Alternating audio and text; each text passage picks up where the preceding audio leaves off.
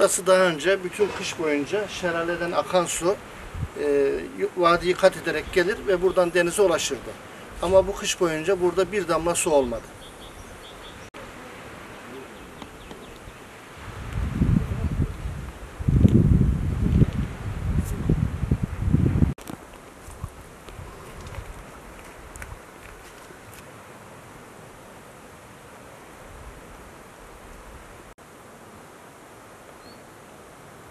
Dünya ünlü Kelebekler Vadisi'ni besleyen bu şelale kaçak kullanım yüzünden kuruma tehlikesiyle karşı karşıya.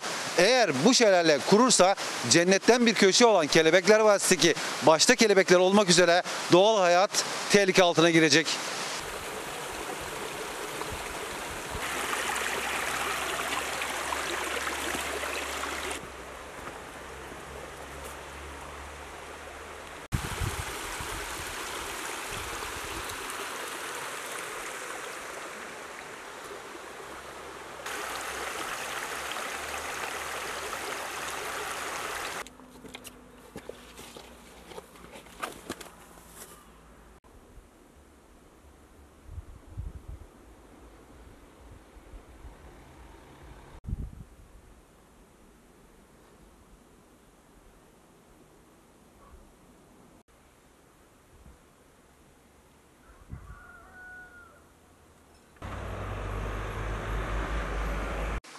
Dünya ünlü Kelebekler Vadisi'ndeki şelaleyi besleyen bu kaynağı 33 yıl önce Farale Mahallesi Muhtarlığı tarafından su şebekesi kuruldu.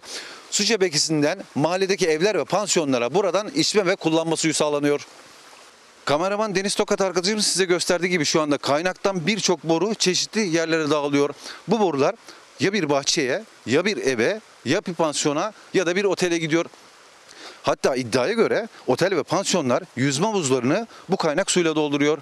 Evlerde ve e, otel ve pansiyonlarda su saati olmadığı için burada hiç kimse su ücreti ödemiyor.